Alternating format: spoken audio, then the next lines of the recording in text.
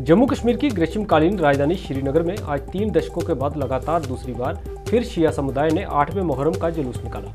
मुहर्रम का जुलूस गुरु बाज़ार से शुरू होकर श्रीनगर शहर के डल गेट क्षेत्र में संपन्न हुआ।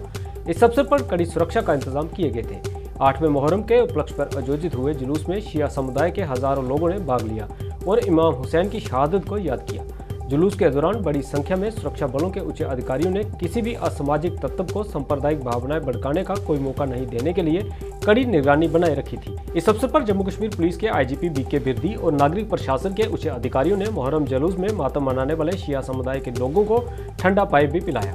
आपको बता दें कि पिछले साल जम्मू कश्मीर प्रशासन ने करीब तीन दशकों के बाद श्रीनगर में आठवें मुहर्रम जुलूस निकालने की इजाज़त दी थी, जिसे इस बार भी जारी रखा गया है।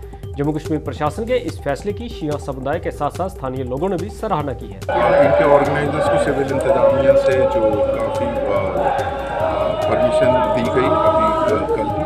और उसके बाद यहाँ सिक्योरिटी के पुख्ता इंतज़ाम है, जहाँ से ये प्रोसेशन जो स्टार्ट हुआ है, और जहाँ पे ख़त्म होगा उसमें उस पूरे रूट पे जो है जम्मू कश्मीर पुलिस ने अपना जो है सिक्योरिटी प्रोग्राम किया है।